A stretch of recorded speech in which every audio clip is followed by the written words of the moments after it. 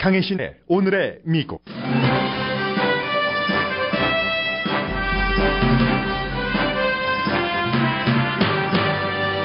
불확실성이 사라진 뒤 미국인은 지갑을 열기 시작했습니다. 어제와는 달리 추수감사절 판매가 최고가 될 것이라는 예상이 강해집니다. 문제는 경제였어라는 말이 민주당 근로계층 사이에서 강하게 들립니다. 유력한 차기 상무장관 지명자는 한국에서는 한국 기업 사냥꾼으로 알려졌고 미국에서는 파산의 왕이라고 불리는 억만장자입니다. 유력한 상무 차관 지명자도 역시 거부인 시카고 컵스의 오너 차드 리케츠입니다. 밀 럼니의 국무장관 지명에 반대하는 목소리가 높아지자 혼외 관계인 여성에게 1급 비밀을 알게 한 전 중부 사령관 데빗 피트라우스 이름이 거론됩니다. 미시건주 최종 선거 결과가 트럼프 당선자의 승리로 확정됐습니다. 그러나 미시건을 포함한 세개 주에서 재검표해야 한다는 주장이 강해지고 재검표를 하기 위한 비용 450만 달러는 거의 모여졌습니다. 트럼프 당선자의 인선과 공약에서의 이탈 등에서 불안감을 느끼는 미국인이 대부분이지만 잡지 뉴요커는 트럼프 승리에서 보이는 밝은 면을 전했습니다. 주민 발의안 58 통과 이후 캘리포니아주는 이중 언어 교육을 위한 준비를 시작했습니다. 텍사스주에서는 학생이 동성애자일 때 부모에게 알리는 법안이 상정돼 논란입니다. 일본은 공원에 탱크 부대가 배치되는 등 북한과의 핵 전쟁에 대비하고 있습니다. 산타가 있다는 거짓 신화를 자녀에게 알리는 것을 다시 생각해야 한다는 연구가 나왔습니다.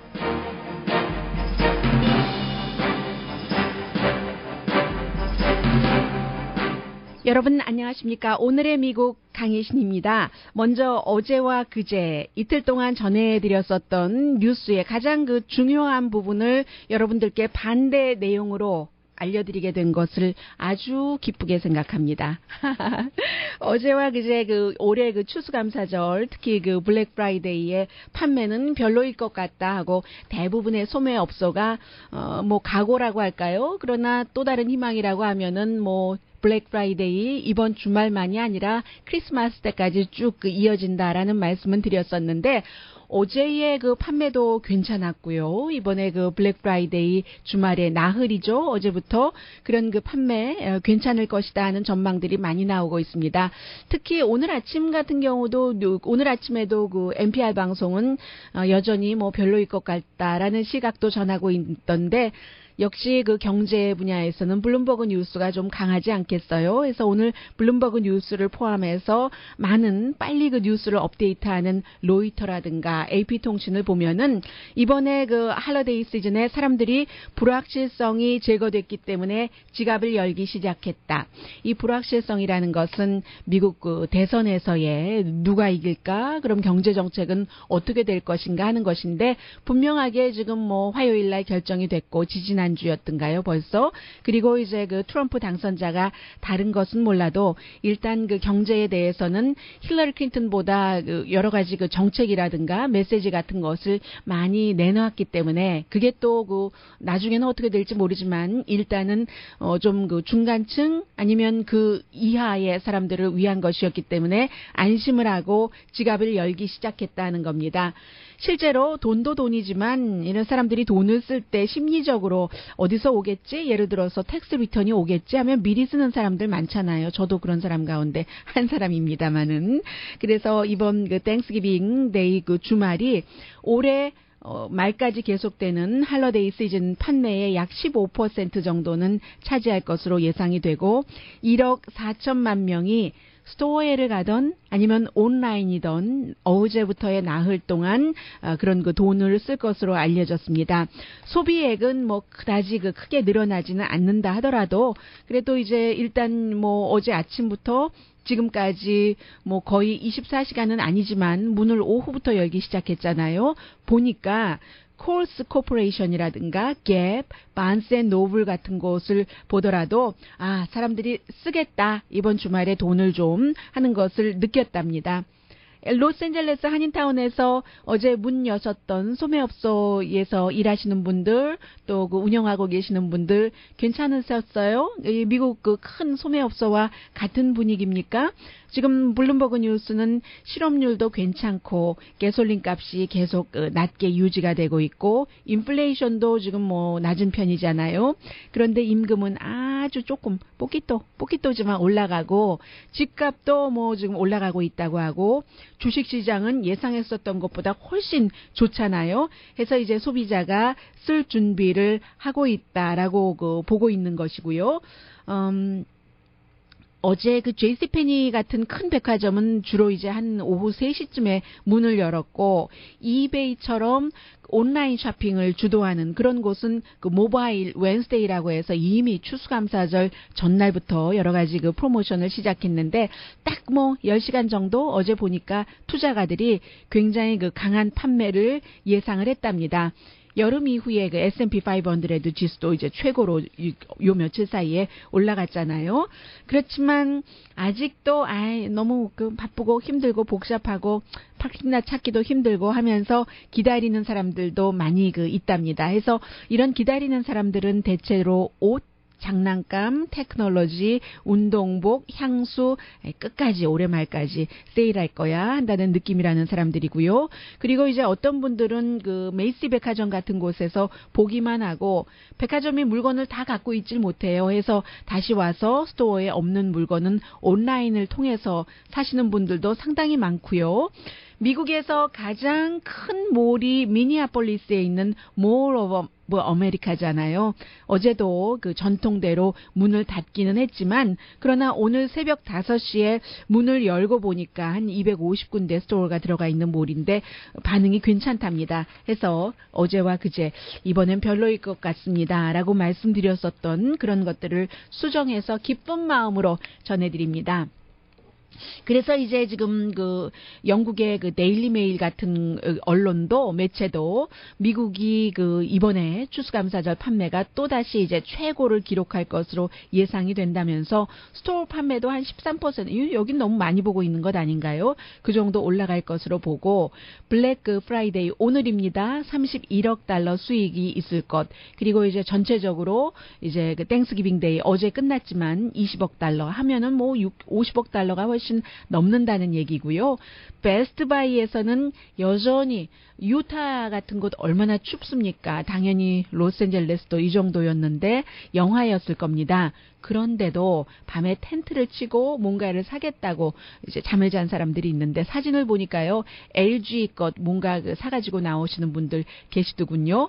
Macy's 그, 그 뉴욕의 맨하탄에는 어제 그 퍼레이드가 있었기 때문에 사람들 보니까 속에 돕바 입고 그리고 그 위에 점퍼 또 입고 물건을 사려고 기다리셨던 분들 굉장히 많은데 이럴 때는 결국은 일자리가 늘어난다는 얘기잖아요. 임시 일자리라고 하더라도 또 임시직으로 채용 어, 고용이 됐다가 일 잘하면 또 계속 일을 하실 수도 있는 것이고 사람들 그 쇼핑하는 모습을 사진 사진 또 그 텔레비전에 그 비디오 클립으로 쳐다보니까 월마트에 들어가서 물건을 고르시면서 월마트의 앱을 확인을 하는 거 다 안 보이잖아요. 해서 그러시는 분들도 상당히 많았고 어, 지금부터는 이제 크리스마스 데코레이션 같은 것도 이미 판매가 시작이 됐고 지난해보다 뭐 좋을 것이라고 예상이 되니까 어, 많은 분들 장사하시는 분들 특히 오늘의 미국 듣고 계시는 여러분들 small business 하시는 분들이 많으시잖아요. 기쁜 소식 전해드립니다. 그리고 더불어서 저희 라디오 서울 광고를 들으시면 지금 어디에 가서 무엇을 사야지 되지 요즘에 여러 가지 그 머릿속에 담고 있는 것들도 많은데 여러분들 많은 그 정보를 얻으실 것 같습니다. 한국일보 광고도 마찬가지고요. 그래서 이렇게 보면은요, 항상 이제 그 힘이라는 것이 위에서부터 내려오는 것 같고 부자에게서 돈이 떨어지는 것 같고 하지만 결국은 그 부자가 누구에게서 돈을 벌어요. 뭔가 아이디어를 팔던 물건이 됐던 숫자가 많은 것은 일반 사람들이잖아요. 해서 이번에도 역시 그 블루 칼라들을 겨냥하지 못한 그 힐러리 클린턴 또 민주당의 아쉬움이 굉장히 그 커지고 있는데 어, 이 제가 이 기사는 꼭 정치 기사가 아니라 모든 small small business를 하시는 분들도 그렇고 한 뭐 직원이 몇십 명 정도 되는 중간 그룹 정도를 하시는 분들도 그렇고 결국은 그 직원들을 생각하고 있다는 그런 느낌 실제로 뭔가 그 돈을 같이 공유하지 못하더라도 생각하고 있다는 느낌만을 주더라도 그 직원들은 그 회사나 업주에 대해서 좋은 생각을 하면서 지지한다. 이게 이번 선거에서 나온 트럼프를 지지하는 많은 사람들의 행동이었다 하는 것이 이제 오늘 아침 로이터 통신을 포함해서 거의 모든 그 언론들이 보도를 하고 있는데 블루칼러 그 민주당이요. 지금도 문제는 경제야. 빌 클린턴 전 대통령이 했었던 그 정말 그 경제라니까 stupid 하는 그것을 부인인 힐러리 클린턴은 하지 못했기 때문에 졌다는 얘기를 하고 있습니다. 오하이오주의 그 민주당 위원회의 위원장이 데이비 피트라스라는 사람인데 이 사람이 메시지를 그 선거가 다가오면서 힐러리 클린턴에게 메모를 보냈답니다. 그 이제 캠페인 본부에 보낸 것이죠. 지금 오하이오주, 미시건, 펜실베니아에서 경제에 관해서 그 힐러리 클린턴이 특히 그 블루칼라 근로자 계층을 생각하고 이러이러한 것을 하고 있습니다 하는 것을 전하지 않으면 여기서 질 확률이 높습니다 했는데 끝내 힐러리 클린턴에게 답변을 받지 못했답니다. 계속 그 뒤로도 트럼프가 그런 그런 기질을 가지고 대통령 할 수 있겠어요? 어, 라고만 그 캠페인을 했는데 그래서 결국은 졌다는 거죠. 해서 지금 그것을 생각했었던 문제는 경제야라는 것을 생각을 하고 그런 것을 유권자에게 알려야지 된다고 주장을 했었던 이 그 비트라스 같은 사람들은 지금 민주당 그 지도부에 굉장히 불만을 하고 있답니다. 사람들은 큰 그 정책 변화까지도 원하지 않는답니다. 지금 당장은 내가 이렇게 고통스러운데 하는 나의 말을 들어주고 어려움에 대해서 그게 이제 케어하고 있다는 거잖아요.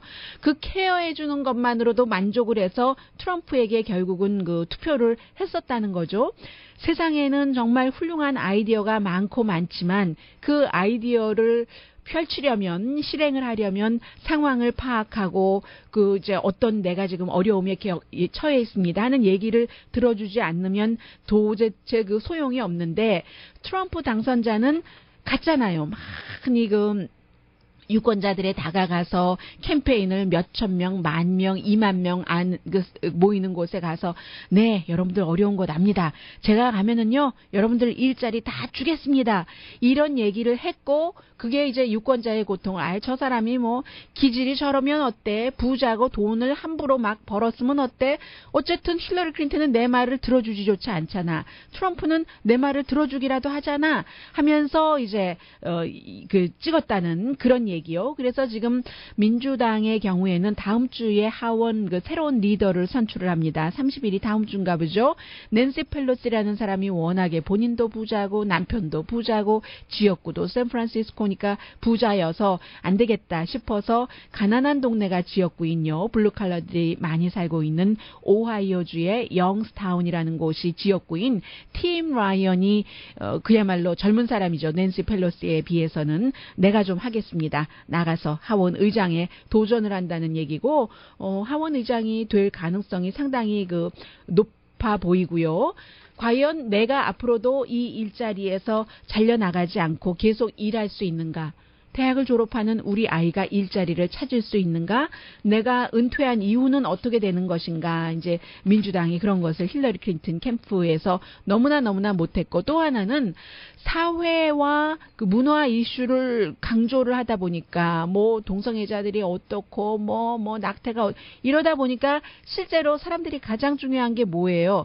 이게 bread and butter 내 입에 빵이 들어가고 버터가 들어가고 밥이 들어가고 쌀밥이든 뭐 현미밥이든 밥이 들어가고 이렇게 아주 등이 추울 때에 아주 개운한 뭐 멸치 그 김치찌개가 됐던 참치 김치찌개가 됐던 먹을 게 먼저 들어가고 나서 사회 문화 이슈를 강조를 해야지 되는데 그게 트럼프는 했고 힐러리 클린턴은 못했다라는 얘기. 힐러리 클린턴은 도저히 그 보통 사람을 생각하지 않는다는 어, 그런 판단으로 이 트럼프가 많은 결점이 있음에도 불구하고 미국의 45대 차기 대통령으로 당 선됐다는 얘기입니다. 그래서 지금 민주당에서는 어떤 얘기가 나오냐면요. 버락 오바마 대통령이 대통령에서 끝나고 나서 2018년도에 다시 그 민주당의 그 지도부를 뽑을 때는 하원 의장으로 선출돼야지 된다는 얘기가 나옵니다.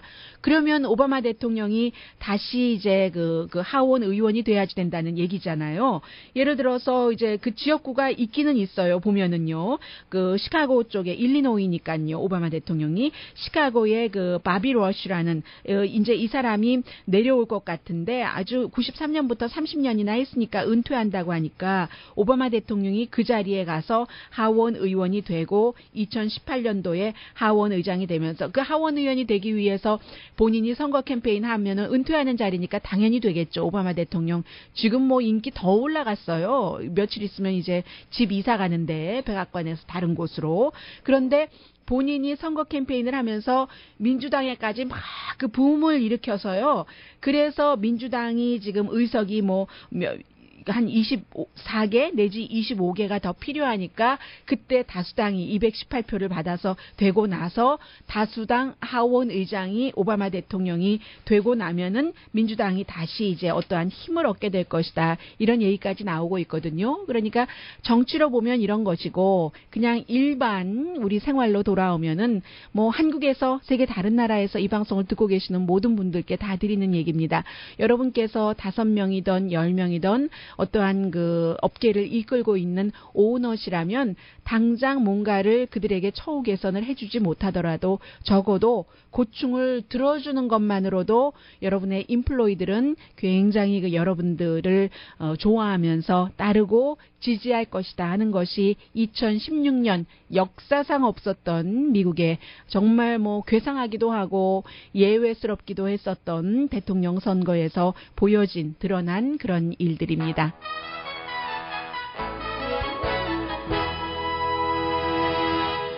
오늘의 미국은 전문가가 추천하는 이민법 가정법 전문 재인정 종합법률 사무소 자동차 에어컨 점검과 수리 최저 가격을 보장하는 금호 타이어 전문 스토어 부에나팍의 타이어스 포유 건강하고 아름답게 나만의 시간을 즐길 수 있는 위스파 LA 최고의 찜질방 위스파 편한 마음으로 맡기면 모든 치아 문제를 해결하는 아로마 센터 2층의 종합 치과 이 편한 치과 한국에서의 명성 그대로 한약 잘 짓는 현대판 대장금이 진료하는 제중한의원 공동후원입니다. 이 문제가 점점 뜨거워지기 때문에 완전히 수그러들까 그렇지 않을까 싶은데요. 재검표 얘기가 계속 나오고 있고 재검표가 됐을 때 실제로 힐러리 클린턴이 세계주에서 이길 수 있는 확률도 있기 때문에 그러면 지금 대통령이 바뀌어야지 된다는 얘기거든요. 차기 대통령이 어떻게 될지 굉장히 궁금하고요. 상무장관으로 유력한 사람이 한국에 그 IMF가 터져서 회사들이 하나하나 문을 닫고 이럴 때 뭐 그런 회사를 아주 뭐 값싸게 산다던가 구조조정을 한다던가 해서 본인이 돈을 많이 번 사람이 상무장관이 된다 하면 여러분 기분은 어떻겠어요? 미국에서는 그야말로 파산의 왕, 파산에서 돈 버는 사람 이런 사람이 돼 있고 그리고 역시 가장 중요한 어 국무장관, 뭐 법무장관과 또 국방장관과 함께 제일 그 중요하다고 할 수 있는 내각급 포스트가 될 수 있는데 그곳에 나중에는 그 CIA 국장으로 일도 했지만 어 뭐 아주 은퇴할 수밖에 없었어요. 왜냐하면 그 음, 결혼 외에 여성에게 비밀 정보를 줬기 때문에 이게 힐러리 클린턴이 굉장히 타격받았던 이슈이기도 하잖아요. 이 사람은 그런 것을 보게만 했다는 이유로 그 내, 말하자면 어 뭐 그냥 그 부인은 아닌 여자에게 그랬다는 이유로 옷을 벗어야지 됐는데 했었잖아요. 그런데 그 사람이 국무장관이 된다면 어떨까요? 그리고 어, 많은 그 트럼프 당선자 지지자이신 분들이 오늘의 미국을 포함해서 뭐 세계 모든 언론이 지금까지 그 정부를 운영해 본 적이 없기 때문에 트럼프 당선자에게 대해서 우려하고 또 많이 이슈도 바꾸고 하니까 그런 게 사실입니다. 그래서 그러한 보도를 멈춰 주십시오라고 얘기하시는 분들도 계시는데 실제로 작은 소리이기는 합니다만은 트럼프 당선자에게 기대하는 면도 있습니다. 엊그제 그 북한과의 이슈 협상을 말씀드렸고 오늘은 그밖에 그 전반적인 문제인데 잡지 그 뉴요커가 보도한 거 잠시 뒤에 전합니다.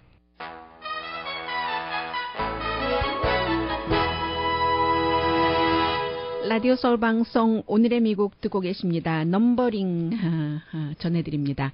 전체적으로 480만 표였다고 하면은요, 유권자가 투표를 했을 때. 그런데, 아, 불과 뭐 한 만 표, 어, 조금 넘게 만 천표도 안 되네요. 만 칠백 표 많이 받았기 때문에 16개의 선거인단을 전부 가져가게 되는 미시건주의 최종적인 개표 결과가 오늘 나왔습니다. 이제 마지막이에요. 다 나온 것이에요.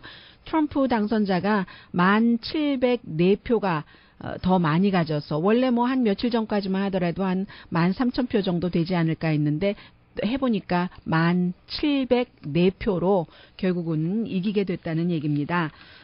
참 투표는 중요해요. 어, 그런데도 불구하고 지금 미시건주 또 펜실베니아, 위스콘신에서 투표 이게 기계로 투표한 것에 대해서는 이상할 정도로 이 힐러리 클린턴이 덜 받았다. 더 많이 그것보다 받아야지 되는데 여러 가지를 상황을 계산을 해보면 이렇게 그 얘기를 하고 있는 미시건주 대학교의 컴퓨터 그 scientist를 포함해서 여러 명의 과학자가 있어서 지금 운동이 많이 시작이 됐습니다.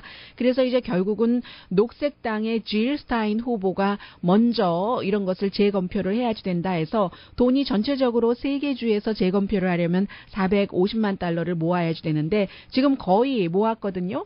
아마 제가 오늘 의 미국 시작하기 전에 점검을 하고 지금 다시 하면은 지금 넘었을지도 모르겠어요. 430만 달러 정도는 들어오기 전에 보니까 모았던데요. 그러면 재검표를 하게 될 수도 있다는 얘기가 되거든요. 그럼 위스콘신이 재검표를 하려면은 오늘 그것을 이제 그 등록을 해야지 되고 그리고 펜실베니아가 28일, 미시건주가 30일이거든요. 아마 할 것 같습니다. 재검표를 해서 만약에 거의 그 트럼프와 힐러리 클린턴 의 차이가 별로 없어요. 위스콘신도 47%대 46.9%니까 1% 포인트 정도의 차이로 트럼프가 이겼고 미시건도 지금 뭐 말씀드린 대로 뭐 만 표 정도 차이잖아요. 펜실베니아도 48.8%대 47.6%니까 펜실베니아가 차이가 가장 높아봤자 1. 2%포인트 차이죠. 그래서 재검표를 했었을 때 이게 그 뒤집힐 수도 있다는 얘기입니다. 그러면 왜 힐러리 클린턴이 먼저 하지 않고 지 스타인이 하느냐? 지 스타인은 뭐 본인은 그 대통령이 당, 대통령이 된다는 가능성이 0%인데도 불구하고 깨끗하게 끝까지 하겠다는 것이고 힐러리 클린턴으로서는 지금 가만히 뒤에서 아무 얘기도 하고 있지는 않습니다만 가능성이 있다면 본인이 오히려 더 먼저 원할지도 모릅니다. 그런데 제가 느끼기에는 이미 이러한 것들의 시작은 힐러리 클린턴 캠프에서 먼저 시작했을 수 있다고 생각이 됩니다. 왜냐하면 로스앤젤레스 지역에서 민주당이면서 정부에서 일하고 있는 사람이 이 일에 참여한다고 그만두고 했었던 사람이 있는 것을 알기 때문에 오히려 이제 그 항상 일을 되게 하려면 어, 내가 원하는 이 일을 저 사람부터 시작해서 하게 하는 이런 경우도 있잖아요. 그래서 이것은 조금 봐야지 되는 얘기입니다만은 일단 뭐 재검표가 시작될 가능성이 상당히 높다는 말씀 드리고요. 그러나 또 재검표가 시작된다고 해서 힐러리 클린턴이 반드시 이긴다는 법도 없고 하고 또 일부 전문가들은 에이 그게 결과가 뒤집히지 않을 것이다라는 얘기도 하고 있기 때문에 뭐라고 말씀드릴 수는 없는 입장입니다. 그 사이에 이제 그 트럼프 당선자는 계속 그 중요한 포스트를 오늘도 아마 누구인가를 발표할 것 같은데 이 부분에 대해서는 오히려 미국 언론보다도 한국의 그 연합뉴스가 더 잘 보도를 합니다. 왜냐하면 한국과 너무 연관이 있기 때문에요. 지금 상무장관 그 지명자로서 유력하게 나이가 굉장히 많아요. 78살이거든요. 어, 한 번도 이제 그 정부에서 장관을 해본 적이 없는 그 윌버 로스라는 사람인데 이 사람이 이제 본인의 그 사모 투자 펀드를 갖고 있어요. 그 이제 그, 그 윌버 로스 이름을 따서요. 그 WL 로스 앤 컴퍼니를 운영을 하고 있고 그 전에는 이제 다른 회사에서 수십 년 동안 일을 하면서 한국에서는 외환 위기 때 기업 구조 조정도 하고 뭐 사고 팔고 하면서 굉장히 돈을 많이 번 사람입니다. 미국에서는 King of Bankruptcy라고 얘기를 하고 있거든요. 파산의 그 왕이라고 하고 있는데 그야말로 뭐 월스트리트의 대표적 대표적인 그렇게 그렇게 해서 돈을 번 사람이고 이제 처음에는 1970년대 후반에요. 세계적인 그 투자은행 로스차일드에 들어가서 한 뭐 24년 동안 이 회사에서 일하면서 파산, 구조조정, 뭐 다시 팔고 사기를 해서 회장까지 됐었고요. 1990 7년도였었죠. 국제통화기금으로부터 구제 금융을 받는 그런 이제 그 외환 위, 위기가 터진 뒤에 한국에 무척 그 자주 연합뉴스 표현으로는 한국에 드나들면서 매물을 찾다가 이제 그, 그 당시에 한국의 재계 12위였던 한라그룹을 첫 사냥감으로 삼았다. 이게 Y 그 연합뉴스 표현 제가 그대로 해드리고 있습니다.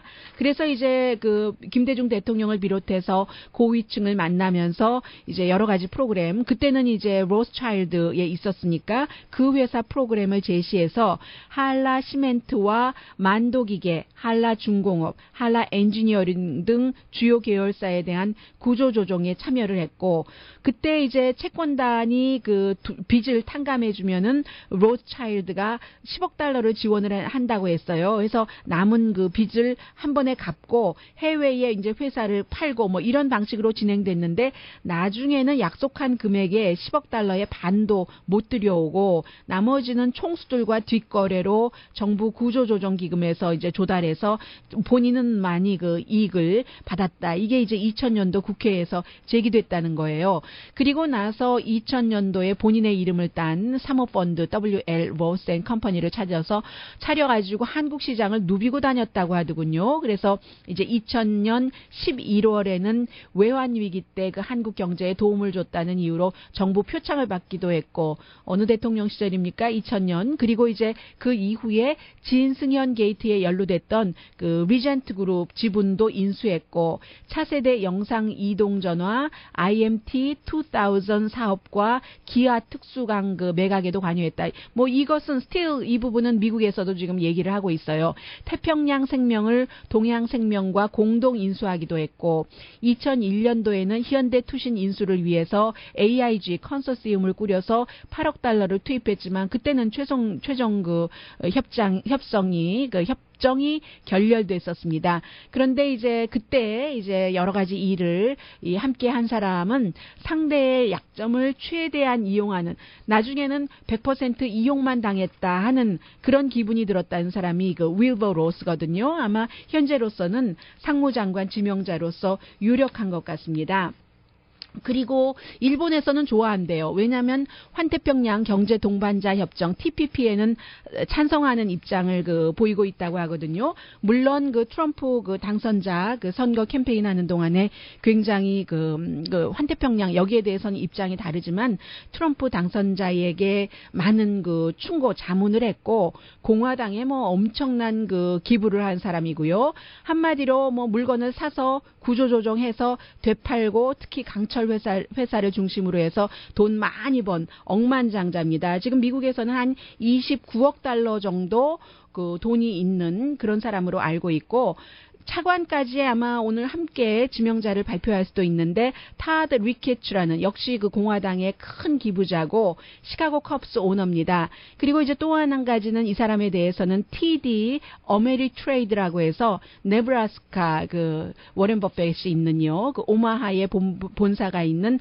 온라인 브로커죠. E-Trade 여러분 많이 쓰고 계시는데 그 온라인 그 브로커를 창업한 사람이 또 아버지이기도 하고요. 이 사람도 그러니까 부자 부자. 지금 교육부 장관 지명자도 아버지도 부자 딸도 부자 남편도 부자. 그 지명자의 남편도 그 아메이의 그 설립자 가족이기 때문에 아메이 회장까지 했고 다 지금 부자 부자 부자로 해서 그런데 미국에서는 장관들이 부자이고 정치인이 부자인 것이 뭐 크게 그 흉볼 일은 아니에요. 왜냐하면 미국은 오히려 이제 돈 많은 사람들이 뭐 공직자로서 어떤 일을 하겠다 해서 공직에 그 참여하는 경우가 많잖아요. 그런데 이제 그런 경우는 의회 의원들이요 그 선거를 통해서 국민이 한 표를 행사해서 의회에 들어갈 때 이때는 뭐 큰 문제가 되지 않죠. 그리고 들어가고 나면은 자신의 재산을 그 blind trust에 넣고 그리고 나서 또 나와서는 컨설팅 같은 것 해서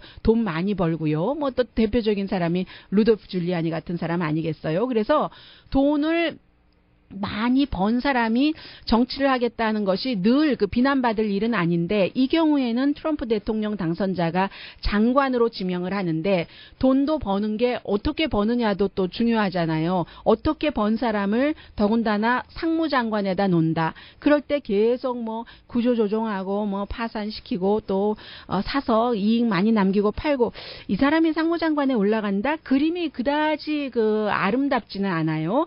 그래서 이제 더군다나 트럼프 당선자는 노동자 층, 근로계층을 대변한다 해서 그 사람들이 많이 그 표를 몰아줬었는데 그리고 이제 그 또 하나는 지금 국무장관인데 국무장관도 마찬가지로 뉴욕 그 시장을 하고 나서 은퇴하고 나서 러시아라든가 터키라든가 이란이라든가 미국의 적대 국가와 어, 적대성을 갖고 있는 그룹에 컨설팅을 해서 돈을 엄청나게 번 사람이 국무장관 한다고 하니까 사람들이 싫어하고 그럼 밋 롬니라는 사람도 완전히 너무너무너무너무 부자잖아요. 이 사람도 그렇기 때문에 어, 이 사람이 된다 하는 것도 또 그 이슈는 좀 온건하고 해서 사람들이 반대를 합니다.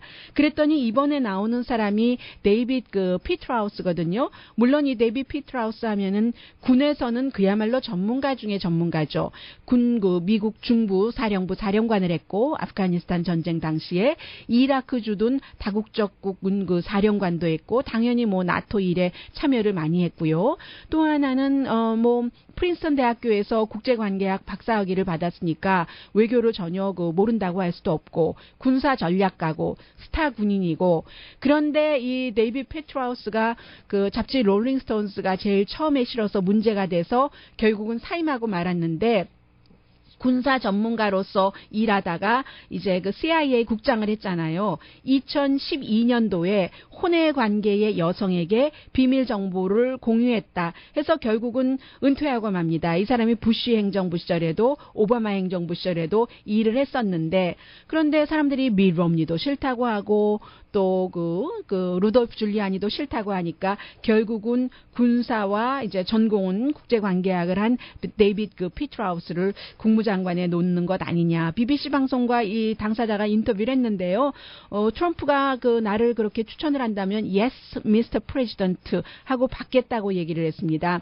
은퇴할 때에 아주 그 어둡게 했으니까 당연히 뭔가를 다시 꽃피우고 싶겠죠. 개인으로서는 트럼프 캠페인 당시에는 간접적으로 비난을 했어요. 대통령 당, 그, 그 후보의 반무슬림 커멘트는 독이다라는 얘기도 했고 그리고 트럼프 대통령 당선자가 러시아와 가깝게 갈 수 있는데 이 점에 대해서는 긍정적으로 말했습니다. 왜냐하면 어쩌면 닉슨처럼 모든 사람들이 반대를 했어도 닉슨이 뭐 핑퐁 외교를 하, 외교를 하고 해서 결국은 어 이제 중국과 문을 열었다는 거잖아요. 트럼프 당선자가 러시아와 뭔가 긍정적 으로 문을 열 수도 있다는 게 이제 그 데이빗 피트라우스 지금 뭐 국무장관으로서 유력해 보인다는 사람의 얘기입니다.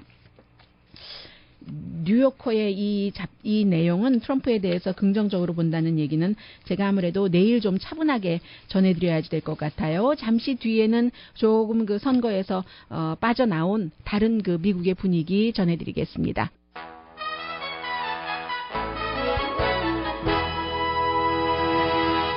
라디오 서울 방송 오늘의 미국 듣고 계십니다.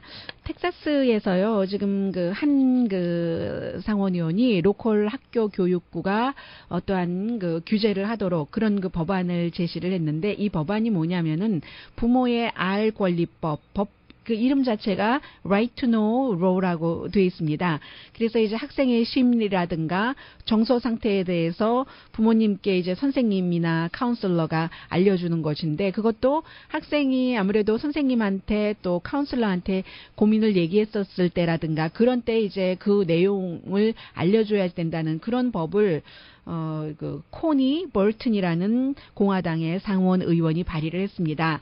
그런데 이 법이 시행이 되고 나면은 어, 지금 그 이 텍사스에 이런 법이 있다고 하는군요. 공립학교 선생님과 카운셀러가 어, 동성애자, 성전환자 학생 이런 학생들의 그런 성향을 부모에게 아, 그러니까 알리지 않도록 학생들의 프라이버시를 보호해 주는 거죠. 그런데 이 그 의원은 그게 무슨 프라이버시냐 부모가 아이들에 대해서 다 알아야지 하거든요. 근데 이게 논란이 되고 있습니다.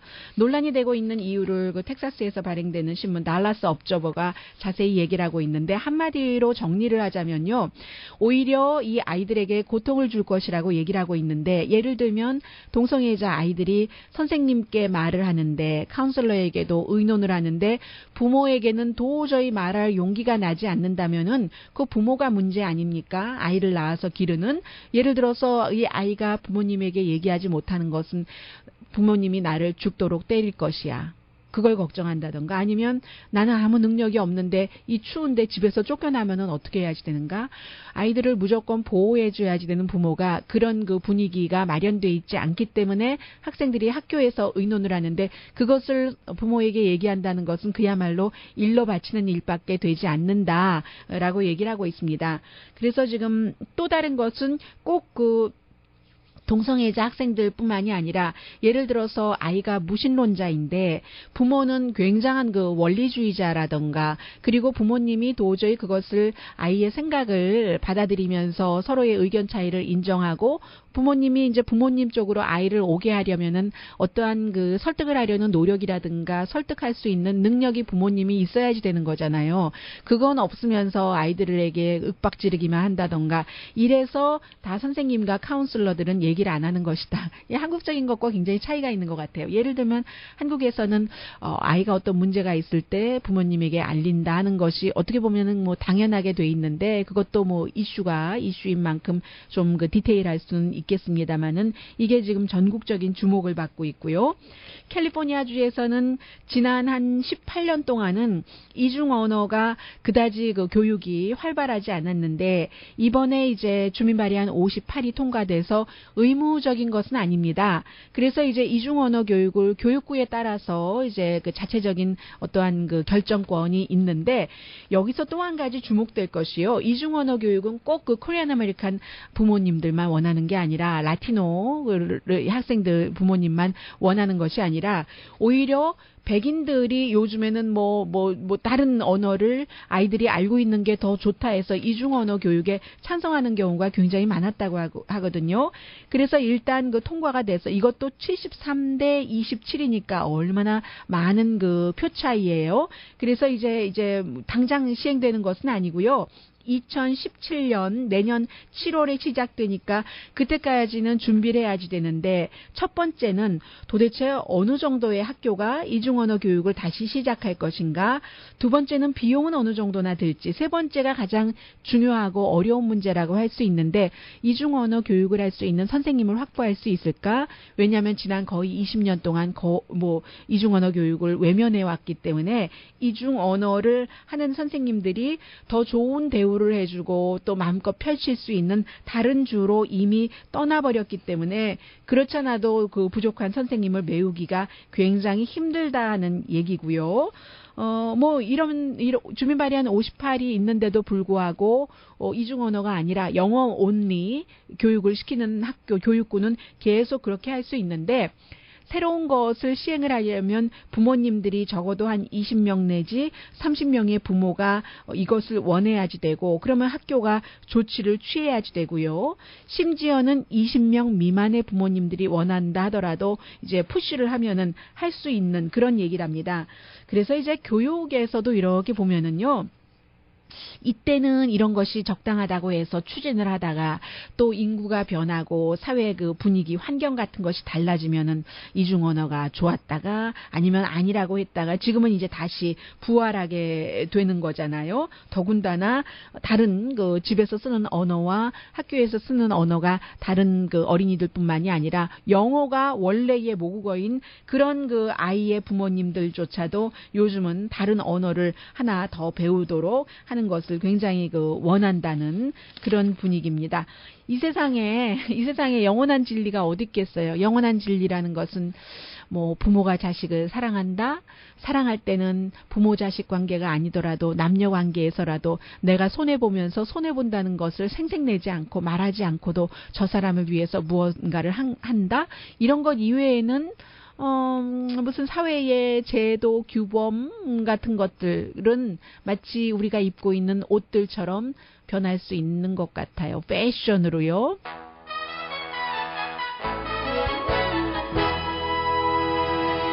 라디오 서울 방송 오늘의 미국 듣고 계십니다. 네, 미국에서도 어, 북한의 핵 이슈를 차기 행정부가 제일 먼저 우선으로 해야지 된다는 그 월스트리트 저널의 사설이 있었고, 아 월스트리트 저널에 실린 기고문이었던가요? 사설이었던가요? 기억이 안 나네요. 기사였던가요? 그리고 이제 꼭 중국만 의존할 것이 아니라 직접 그 북한과 대화를 해야지 된다라는 얘기가 있었는데 이번에는 일본은 이미 그 만일에 일어날 수 있는 북한과의 핵 전쟁에 대비를 한다는 내용들이 지금 일본 또 영국 쪽에서 많이 들어오고 있습니다.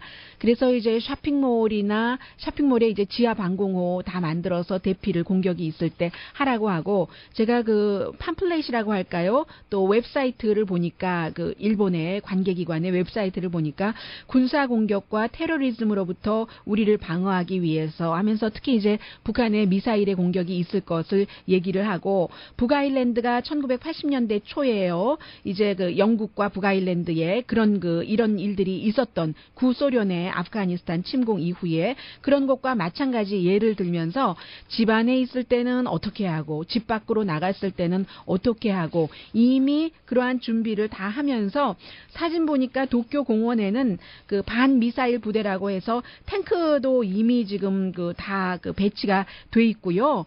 일본이야말로 그야말로 그 핵전쟁을 그, 그 세계에서 그냥 피해자로서 피해 국가로서 유일한 나라이기 때문에 이렇게 이미 그 북한과의 여러 가지를 준비를 하고 있답니다.